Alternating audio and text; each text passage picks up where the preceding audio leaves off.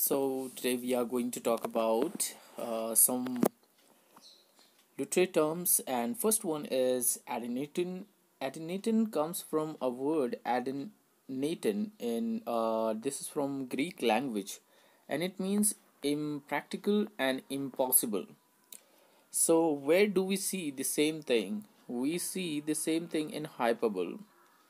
So adenatin and hyperbole are quite same but uh, it is also kind is a kind of hyperbole though it means extreme form.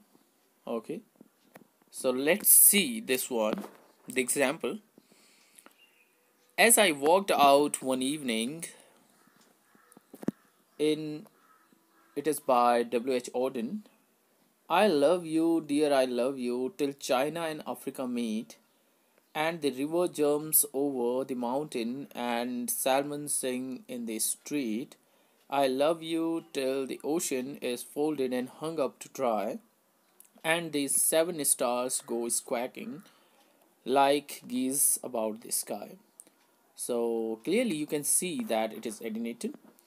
And if there are four option, okay, so usually we don't have uh, hyperbole and adenatin the same in the in the options so just if you see something impractical impossible like hyperbole you find you will choose the answer adenatin अगर आपको हाइपरबल और एडिनेटिन दोनों सामने मिल जाते हैं तो option में आपको हाइपरबल एंड एडिनेटिन दोनों नहीं मिलेंगे कोई एक ही होगा जो अगर आपको एग्ज़ाम्पल कोई देखने को मिलता है, उसमें आपको हाइपरबल जैसी फीलिंग आती है तो आप एडिनेटन ही चूज़ करेंगे।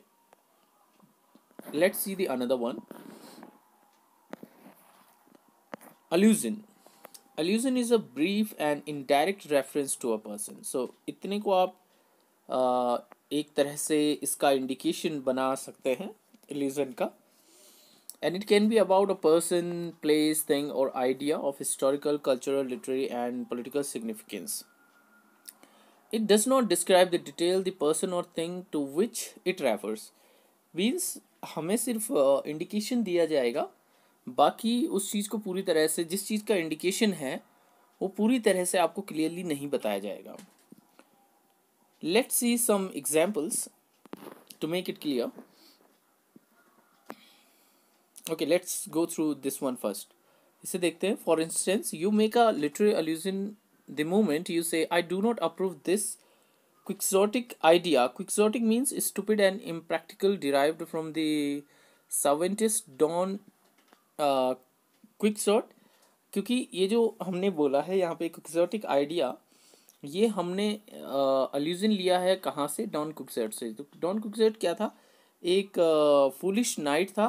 इसलिए हम किसी भी वर्क को अगर हम कह रहे हों कि आ, ये कोई एग्जॉटिक आइडिया है तो हम इसका अल्यूजन दे रहे हैं।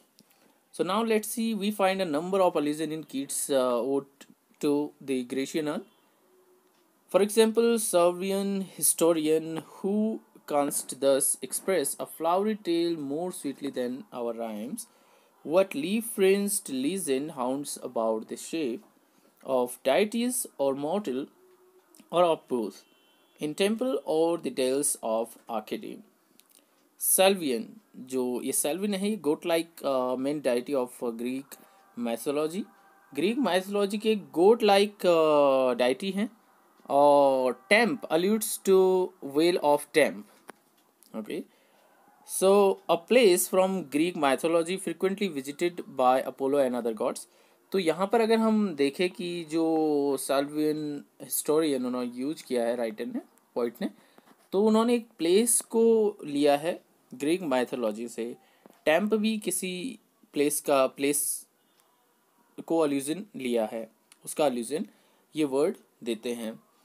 तो क्लियरली हम कभी भी अगर किसी एक चीज़ को रेफ़र कर रहे हों और वो ऑलरेडी वो चीज़